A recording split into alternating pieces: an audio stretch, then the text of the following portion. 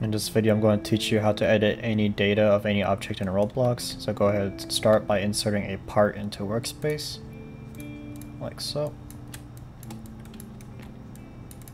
Okay, and then insert a script into server script service. And in order to do anything with any object, you first have to locate the object. So I want to locate this part right here. So the part is inside the game, so we'll type in game and then you can also see that the part is around our workspace. So we'll type in dot workspace and then part. So we'll go from top to down. You can also think of the game as this explorer window right here. And then it's just traversing downwards from there. And then we'll go ahead and click on this part here. You can see there's a lot of properties for this part. You can change the color or the transparency. So we'll change the transparency for now. And then after we locate the object, we want to specify what property we want to change. So type in transparency. And then we, right now it's set to zero, we want to assign it a new value. So equal sign, and then whatever value we want, 0 0.5. I'll go and run this and test it. And you can see it turns semi-transparent. Whenever you're changing a property, it's important to know what type of value it takes. For transparency, it takes a number value, because you can change the slider right here, you can type in whatever numbers you want, like so. But this is not the most concrete way of knowing that it's a number. So the best way to know is to go to the documentation. So go here. I'll, I'll put a link in the description. So this is the documentation. So we're going to click on the search bar right here and then type in part and I click on engine API and I click on the part API right here. And on the right side, you'll see there's some, there's a list of properties right here, which is what we want. So go ahead and try to find transparency. It is in alphabetical order collect transparency right here. And you can see right next to transparency, there's this word number, so that's the value type it takes. It takes in a number. So I'll change, I'll change another property. So let's change the brick color property. So that's the color right here. So again, we're going to locate the object we want, game, workspace, part, brick color is equal to, and then we need to know what type of value this property takes. So go back to the documentation and then find brick color right here. You can see it takes in a brick color value and you can even open it to see more information on it and, and even some code examples like so. So we're going to type in the type of value, brick color, and then we, to, we want to make a new of this type, so dot new. And then we'll go ahead and type in whatever color we want, so we can do pink. And if we were to run this now, you can see that it turns pink. Next up is the name. So you can see there's the name property right here and we can type in whatever letters we want to it. So right now it's set to part, so let's go ahead and change that. So again, locate the object, game.workspace.part, specify the property to change, .name, set a new value to it, and then you'll want to see what type of value it takes. So go back to documentation, and then look for the property. So ours is name. And then click on again. Okay. So you see it takes in a string and we can also open up a string and we can see that the string is just the text right here with the quotations around it. So we'll go ahead and do just that. So to make a string, quotations, and then whatever text we want, we'll just type in cat and then we'll run it and we can see the name is now cat instead of part. Okay, next up will be the anchored property. So right now it's set to false. So we'll drag this up. So because it's false, if we were to run the game, it will drop down like so.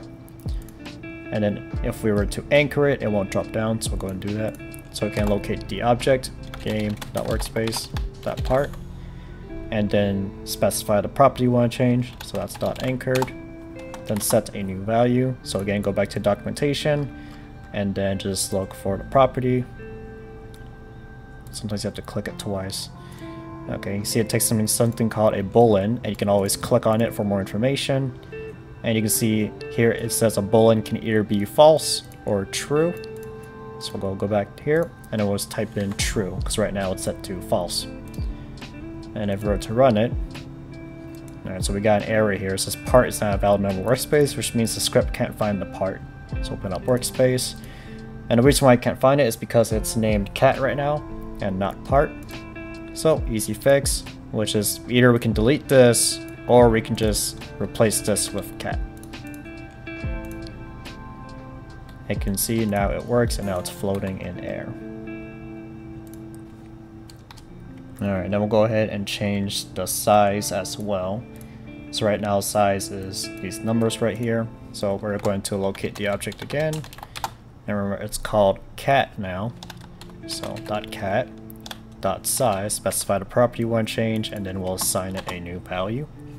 So go back to documentation and then go back to the part and then we'll see where the property is size right here and again sometimes you have to click it twice there we go so we can see that the size takes in a something called a vector 3 value type and we can always click on it for more information and it gives us even a, a little example right here so we're going to type in the type of value we want vector 3 and then we'll we want to make a new of that value so dot new then we'll type whatever number one. We'll just make it really small. 111. Go ahead and run that. And you can see it's really small. So this code looks pretty good. Uh, an issue right now is that let's say I were to change the name of this part right here. Let's say I changed it to, I don't know, part X. We would have to change, you know, if we're trying to run it right now, it would error because it can't find the part. It would have to change this to part X for each of them. So that gets pretty annoying. So if you watched my last video, uh, I told you that the solution was just to make a variable. So I'm to do the same thing here. So I'll make a variable, I'm to call it cube. If you haven't watched the last video, I really recommend it because it's very important. And then we'll locate the object, game.workspace.partx. And then we are storing this object into this variable right here. So instead of using this, we can just type in cube and what's the magic thing about this is that because it's storing the object, even though we changed the name right here, we don't actually have to do anything else. So I'll show an example. So right now it's all cube right now. And we're to run this, you can see it still works. And even though we changed the name, we don't have to do anything extra. We only have to mess with this first line. So that's why variable's really nice.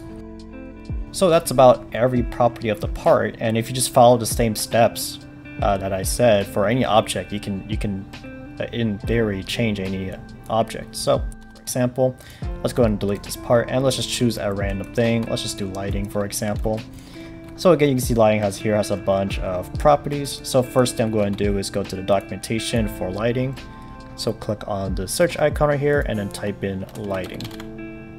And then sometimes you have to go to the engine API and it's right there, lighting and I will choose a random property. So I've never changed. Uh, let's do shadow softness. I've never actually changed that one before. So when you're messing with something new, go to documentation first, and then see what type of value it takes. So let's look at shadow softness right here. So this part tells me what it does, and it also tells me that it takes in a number value type. So we'll go ahead and make a script. So, oh, we already made one. So, locate the object we want to change. So it's not a part this time, now it's lighting. So game.lighting. And then the property we want to change, so that's going to be shadow softness. And again, it takes in a number, so we can just type in whatever number we want. Let's just do, I don't know, 10, see what happens. And then if you go here, okay, I guess it maxes out at 1. But let's see what it actually changes. Let's make a shadow. So that's what shadow looks like right now. And then if we were to run the game, you can see that the shadow is very blurred now. So I guess that's what shadow softness does. And that's the end of the video. Hope you guys enjoyed. Feel free to like this video, subscribe, and join my Discord.